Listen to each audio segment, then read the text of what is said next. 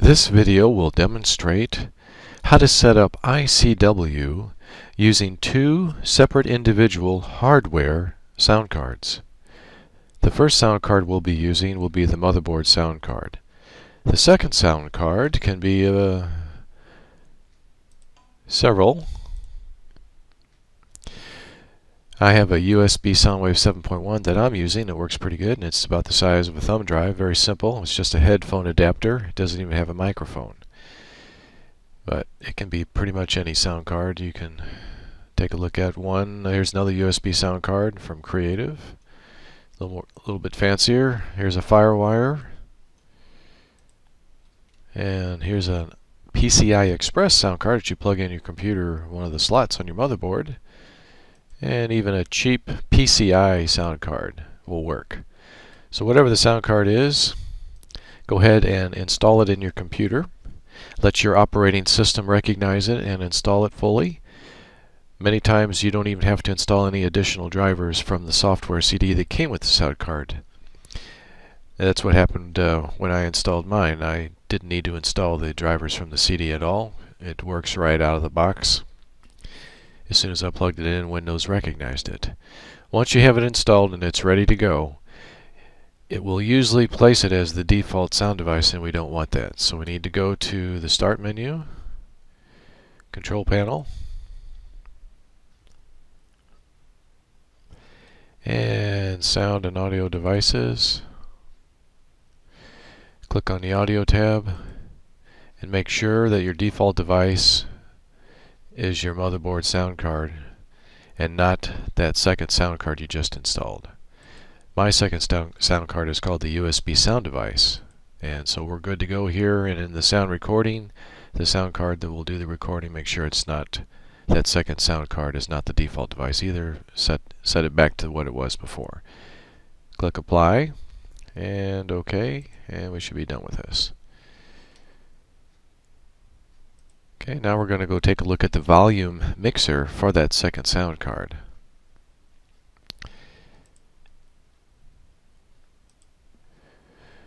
So you double click on your speaker icon and it'll bring up a volume mixer. It will probably be the motherboard sound card, so you don't want that one. To get to the second sound card, just click on Options and Properties.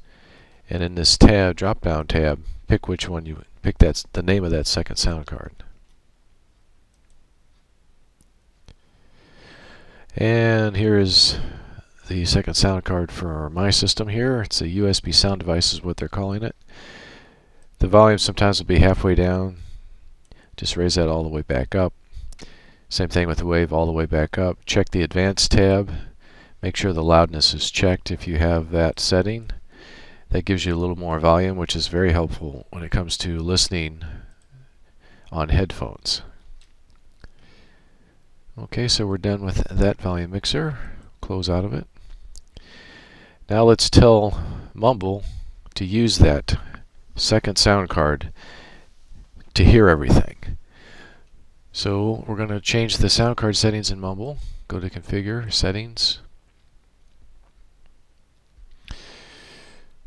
On the audio input tab, choose the motherboard sound card. Everything else stays the same. Click apply. Go to the output. And this is where we choose the second sound card, whatever it's called on your system. Mine's the USB sound device, so I've already got it selected. Just click the tab and choose this one or whatever your one is, whichever one you have. Again, click apply and OK. And that'll then we'll be done with this for a second. Now let's go to FL Digi and change the sound card there. Now the concept we're going to do here is we're using the second sound card just to listen to everything on Mumble. But to send CW from your station, you're going to use the motherboard sound card as an interface between FL Digi and Mumble before we were using the WS audio device. However, the WS only works on Windows, so anybody that had a Mac or Linux couldn't use that. And if you had Vista 64-bit, you couldn't use the WS.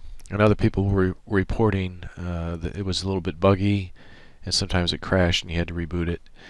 So it was just a free solution and it was easy to implement and it sounded pretty good and it worked for most people. But this will work for everybody. So let's go to FLDigi and tell it to use the motherboard sound card.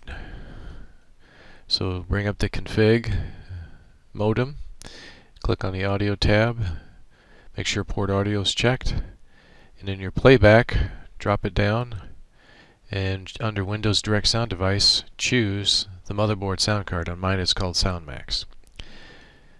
Click Save. You'll probably have to hit this transmit button right here again, so make sure that's on. And there, red lights, there we go.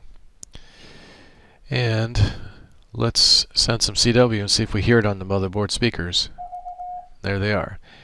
And it's also, I've already got it set up where it's already going out you can see the red light here, so it's activating Mumble. So I'm sending CW on Mumble using the motherboard sound card.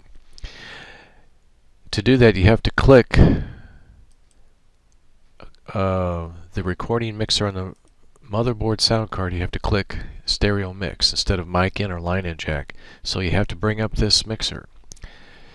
And I'll bring up the volume master volume too.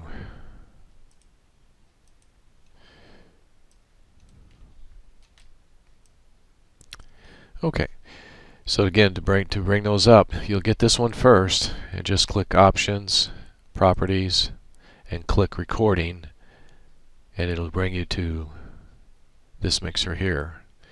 And make sure you have stereo mix, and that's very critical in the volume. You have to have this almost at the bottom. So take it all the way down and then move it up a little bit. And over on this one, you have to on the wave slider, you have to take it down to below halfway. This is important because you don't want to send too much audio to mumble and it'll, it'll distort and you'll get a distorted sound. So you can play with this on using the loopback test and let's let's do that now. So instead of listening to my side side tone here from FL Digi on the motherboard, which is an option, you're welcome to do that. I don't listen to the side tone, so I'm going to mute it for right now. And I'm going to test and see, since we selected that second sound card to listen to mumble, we're going to go in here and use the loopback test and see what our own signal sounds like. So you go to the audio output tab, select server, click apply, and now we should hear it on that second sound card speaker. And there it is. Okay, sounds pretty good. So if you're satisfied, just uh, change this back to none. Apply. OK. So that's basically the, the setup on how to do this and all the volume mixers that you need. One final note is if you want if you're if it's important to you to hear your own side tone and you don't want to use the motherboard sound card, which is very easy to do, you just unmute it. But if you want to hear your own side tone in the same speaker or headphones that you're using to listen to Mumble with, you'll have to use Audacity to do that. And in a previous video I described how to do that. So you have to bring this up, choose the motherboard sound card as the input with this drop down tab under Windows Direct Sound. And on the output of Audacity you're going to select the USB sound device. And we'll demonstrate that quickly here. You can look at that video for further details on how to get this set up properly. Again, we're using the stereo mix. Now let's send some CW on FLDigi. And there it is. As you can see, these V meter, VU meters are going to light up. And we're going out on Mumble 2. So we're going to be able to hear everyone from Mumble on that second sound card and now I'm able to hear my own side tone by using this Audacity because of this transport software playthrough function that it has. And we're not recording anything because I have it on pause. That's basically how you get ICW set up with two independent, separate hardware sound cards.